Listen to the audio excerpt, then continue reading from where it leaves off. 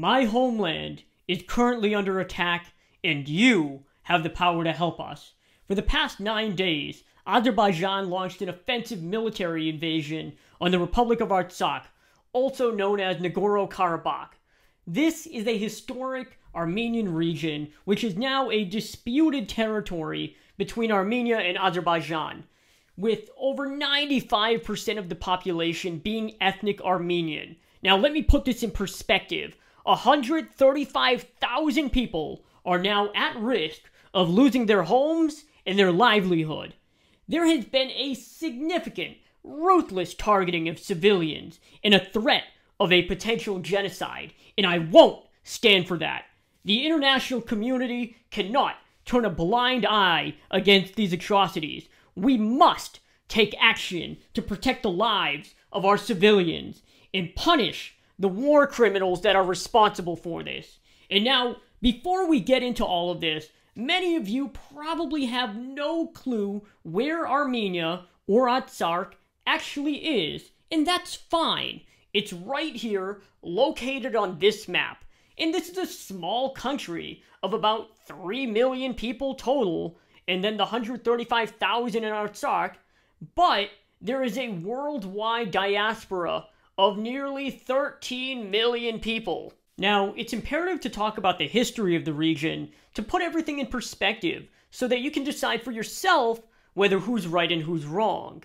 Now, the first thing we need to talk about is this disputed territory is actually ancient Armenian land from 700 BC. This is before Christ, and that's almost 2,700 years ago that Armenians, ethnic Armenians, have been living on this land. Fast forward a little bit, in 1915, the Ottoman Turks committed genocide against 1.5 million Armenians, Greeks, and Assyrians as their empire was collapsing and they needed a scapegoat.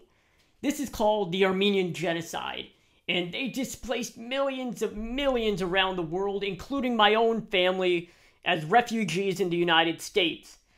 They were aiming to really rally nationalists against Christianity and blame Armenians for their failing regime. And the Turkish government today doesn't even recognize it as a genocide or even a real thing for that matter. And every other country really agrees that it happened and it was really bad. It's kind of ironic because I have a lot of amazing Turkish friends and I frequently travel to Turkey a lot to really bridge that gap between Armenia and Turkey. And every single person I meet recognizes and condemns the Armenian genocide. They don't believe in their own government. Now, Turkish people are generally very great people, and they're just like Armenians, but typically Muslim. And in fact, a lot of Turkish people are right now just finding out that they actually have Armenian heritage. When the Armenian genocide happened in 1915, Azerbaijan didn't even exist. It was only three years later, with the support of Turkey and Ataturk, a group of Muslim Turkics took over the capital city of Baku, then tried to expand their small country into the area known as Artsakh. And this caused a ton of terrible bloodshed. Over 25,000 Armenians, Russians, and Jews died. And this was already very bad after the 1.5 million dying from the genocide. And this really scared the out of Armenians, knowing that there's now a country on each side of them that hates them, and they are a majority Muslim, while they are the first Christian country in the world. Now, if you look at this map, like, bruh, the only thing standing in the way of connecting the Turkic world is Armenia and Artsakh. In 1920, when all of this bloodshed was still happening, Joseph Stalin and the Bolsheviks ended up invading Georgia, Armenia, and Azerbaijan. And to really rally the public opinion after they were invaded, they promised the ethnic Armenians the land that they were living on, which was practically all of Artsakh. But they also promised the Turkic Azeris the land that they were living on, and that land would go to Azerbaijan.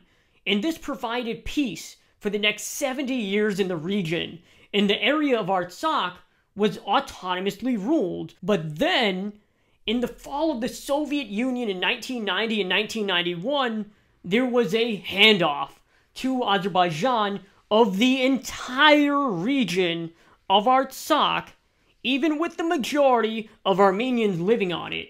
And there was a consensus that they wanted to be a part of Armenia. In 1988, before the collapse of the Soviet Union, there was a vote whether the region should belong to Armenia or Azerbaijan.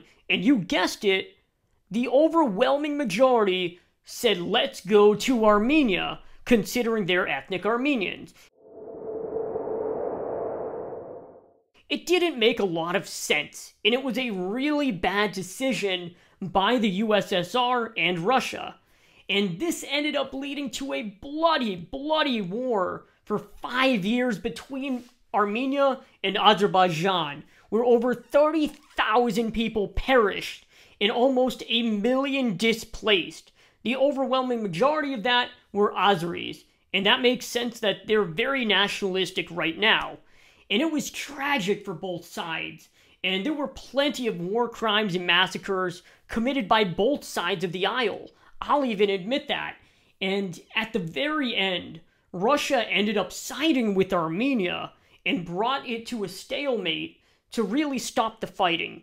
So this has been one of the longest ceasefires in history. Now let's get into the modern day. Over the past 25 years, there have only been a few small skirmishes here and there, but notably one of the worst skirmishes possible was when Azerbaijan in 2016 launched a surprise attack against Artsakh forces, killing over a hundred servicemen and civilians.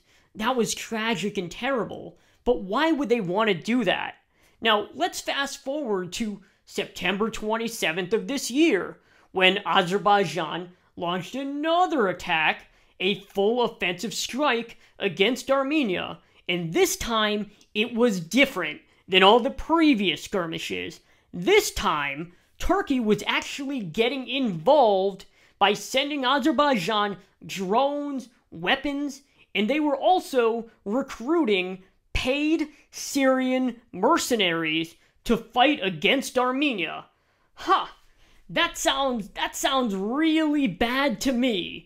And the worst part about all of this is they're still revving up nationalistic support. And Erdogan said exactly this Turkey will finish the job our ancestors started. And what he's referring to is against the Armenians, and what he also meant was genocide. I find it hard to believe the narrative that they're trying to play publicly when they claim that Armenia launched the first attack against Azerbaijan, when just three days before the report was leaked that Turkey was sending Syrian mercenaries to the front lines. There's just a huge disconnect here, and I really get it.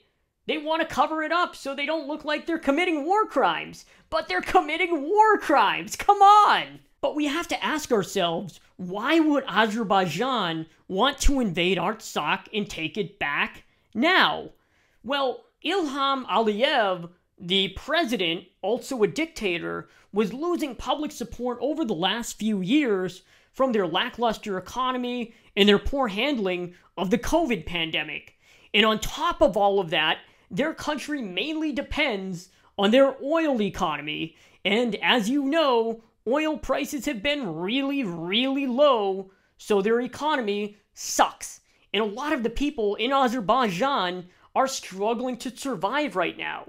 And what Aliyev wanted to do was take the attention away from the domestic issues and kind of fuel the nationalistic fire by attempting to invade Artsakh, which again, in the modern day, is autonomously governed by themselves and even financially supported somewhat by the Armenian government.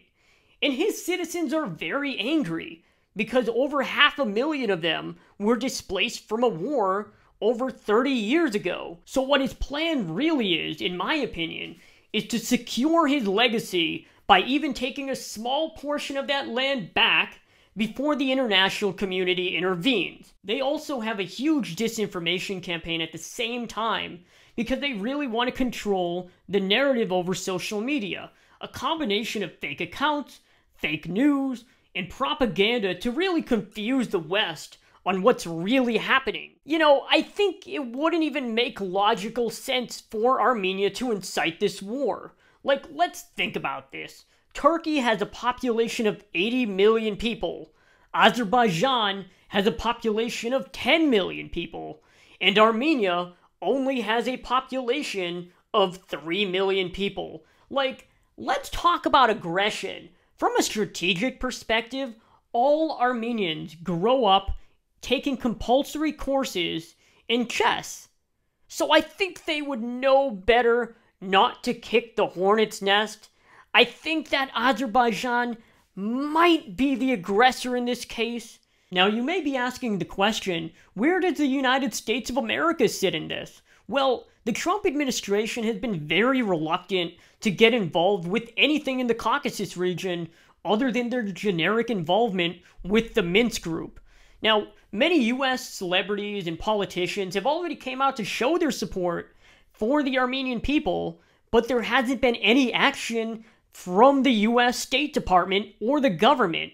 And now, I'm not going to throw any accusations at the president, but what I will mention is that he does have investments and personal interests in Istanbul with the Trump Tower as well as Ivanka's business dealings in Baku. There might be a conflict of interest here. I don't know. At the beginning of this video, I said that you have the power to make an impact on this, and I really meant that. There are two specific avenues that you can take to make a real difference here.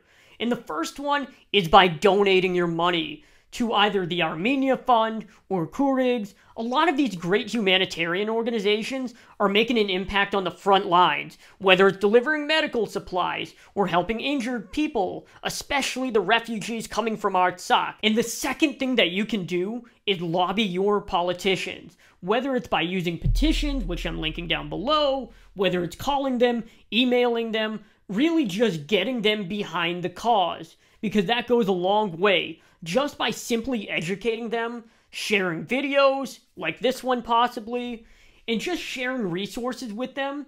Because even though on a state or even a congressional level, they don't have the ability to make State Department decisions, they can still influence people in the State Department or the presidency. So don't be discouraged. Reach out to them. Go and make an impact. In difficult times like these, we must stand united against racism, hate, and genocide, but also lead with empathy and love. I'm almost confident that the Azerbaijani people also want peace and don't want to see more people die just because nationalists want blood. I hope to live to see the day where the borders between these two countries are open and there's a mutual respect. Azerbaijani's government wants land, but Armenia wants to survive. And we will survive. We will thrive. Let's unify and prevent nationalists from weaponizing our ethnicity as a way to wipe out a complete society. Stand with Armenia, stand with peace. I will be potentially making more videos about this topic in the coming weeks because there's so much more depth to go into on how to make an impact and why this should matter to you. So Thank you so much for watching, and God bless.